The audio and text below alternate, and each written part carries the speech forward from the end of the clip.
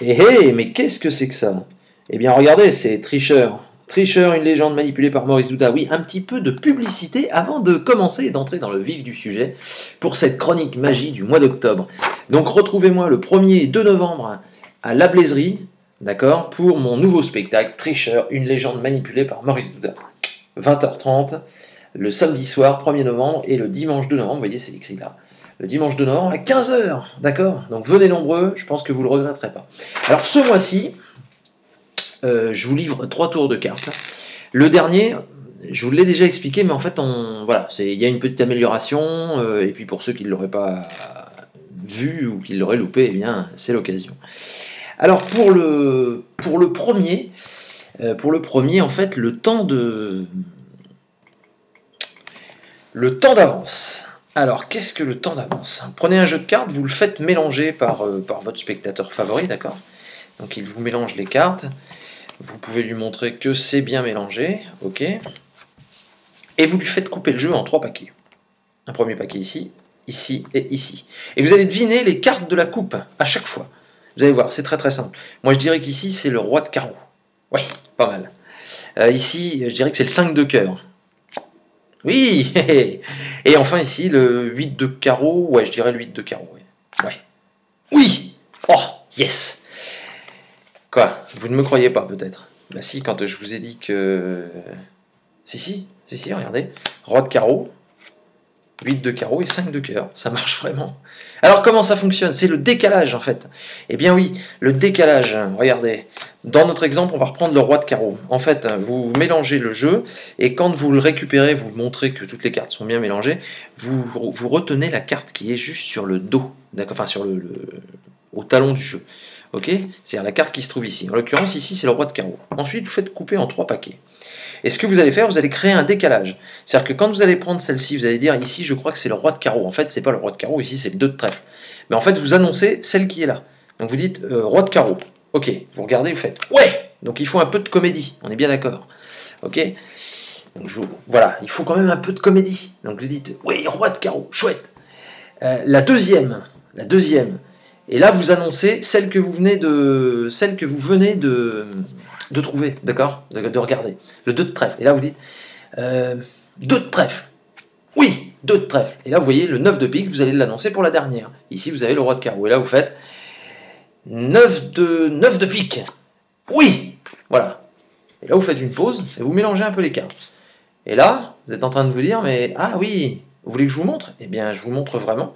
Ok, quand je vous dis roi de carreau, et là vous reposez à l'endroit où normalement les cartes auraient dû être, roi de carreau, 2 de trèfle et 9 de pique. Voilà. Ça c'était pour le décalage. Les cartes antinomiques. Oh, qu'est-ce que c'est que ce terme barbare? En fait, c'est une expérience que vous allez faire avec votre spectateur, juste avec un jeu de cartes. Ce jeu, regardez bien, vous lui demandez de le mélanger. Ok, assurez-vous qu'il sache mélanger à l'américaine, puis vous lui montrez bien sûr que vraiment les cartes sont bien bien mélangées. Vous faites deux tas, une carte à gauche, une carte à droite, et vous lui dites, vous m'arrêtez quand vous voulez, d'accord Une dizaine, une quinzaine de cartes. Voilà. Stop ici, d'accord, très bien. Eh bien, regardez, vous lui donnez un des tas, et vous lui dites, vous allez faire exactement le contraire de ce que je vais faire. Si, si, regardez, je vous assure, ici j'ai une carte noire. Allez-y, retournez la vôtre, c'est une rouge. Eh oui, Regardez, moi j'ai une noire, vous avez une rouge, et ainsi de suite. Noir, rouge, noir, rouge, noir, rouge. Ah, on change. Eh ben noir. eh oui. Voilà, noir, eh ben rouge. Rouge, eh ben noir. Et ainsi de suite. Noir, rouge, rouge et noir. Étonnant, non? Comment ça fonctionne? Alors en fait, il y a une petite préparation. Euh, il y a une petite préparation à faire avant. Alors j'ai préparé déjà un tour à l'avance pour pas recommencer. En fait, vous allez intercaler votre jeu comme ceci, rouge, noir, rouge, noir, rouge, noir, rouge, noir, rouge, noir, une sur deux. C'est très important. Vous ne lui montrez pas, hein, bien sûr. Puis là, vous lui proposez donc de mélanger. Il mélange, et lorsque vous allez lui montrer que les cartes sont bien mélangées, la seule chose que vous avez à faire, c'est d'aller couper entre deux rouges, par exemple, ou entre deux noirs, comme vous voulez, d'accord? Vous coupez entre deux rouges, par exemple, et vous ramenez ça dessus. Ça y est, c'est prêt. Vous faites vos deux paquets,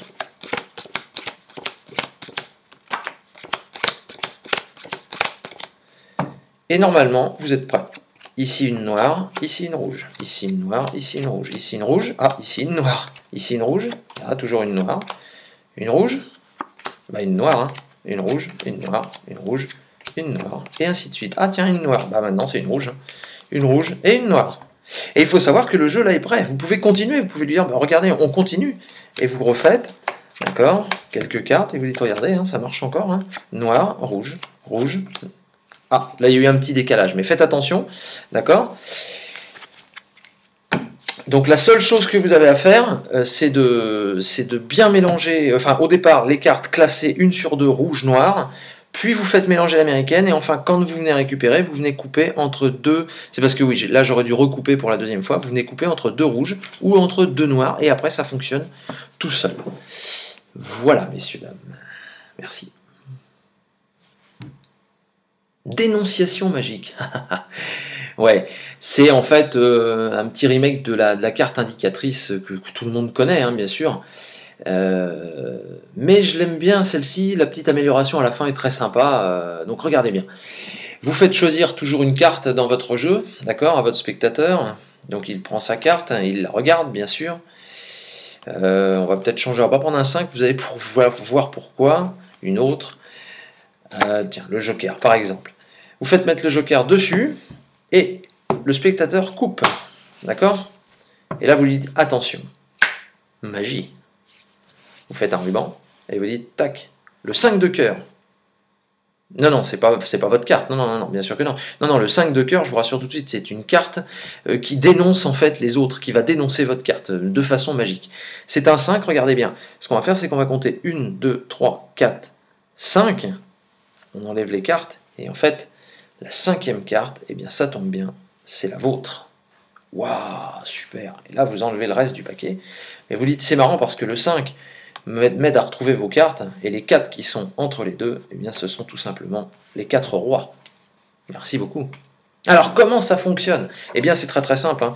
c'est le principe de la carte retournée euh, dessous. Vous voyez, euh, il y a un petit montage à faire au départ. Euh, en fait voilà l'ordre du jeu. Voilà l'ordre du jeu. Vous avez les 4 rois qui sont carrément dessous, puis un 5, d'accord, face en l'air. Alors évidemment, vous ne montrez pas, hein. vous ne montrez pas que vous n'allez pas jusque-là pour pas qu'on voit votre carte. Vous faites choisir donc une carte, ok, ici le 2 de pique, vous la faites replacer sur le jeu, puis vous coupez. Voilà. Et là, ça y est, c'est fini. Juste un claquement de doigts, vous éventaillez, vous dites Ah, le 5 de cœur. Et la personne va vous dire Mais non, c'est pas ma carte. Eh bien non, c'est pas votre carte, bien sûr. Donc là, vous enlevez cette partie. Vous dites par contre, si on compte 1, 2, 3, 4, 5, ça c'est ma carte qui va m'indiquer où se trouve la vôtre. Et là, vous enlevez le reste et vous dites tac. Le 2 de pique. Waouh Ça y est, les gens se disent c'est fini, il est très fort, il a retrouvé la carte. Mais là où c'est plus fort, c'est que le 5 m'aide à retrouver tout simplement à chaque fois les 4 rois. Alors vous pouvez mettre ce que vous voulez, après entre les deux, vous pouvez mettre les dames, les as, les valets, euh, ce que vous voulez. Voilà, messieurs, dames, euh, et les enfants, et les plus grands, euh, les grands-parents, cette rubrique est vraiment pour tout le monde. Moi, je, moi, je m'amuse beaucoup à la faire, en, tout cas tous les mois. Euh, et, voilà. Donc, n'hésitez pas à venir me voir le 1er novembre à 20h30 à la Blaiserie, salle de la Blaiserie, d'accord? Centre socioculturel. Il n'y a pas de réservation, pas de billetterie d'ouverte avant, ça, ouvre que le soir même. Donc, soyez à l'heure, ça c'est très important. La billetterie ouvre à 19h30. Donc 1er euh, novembre et 2 novembre, 1er novembre 20h30, 2 novembre 15h. Donc euh, voilà, ça y est, j'ai tout dit. Et eh bien écoutez, je vous souhaite à toutes et à tous euh, une bonne semaine dans notre hebdomadaire préféré. Et surtout, venez voir Tricheur, une légende manipulée par Maurice Douda, bien sûr.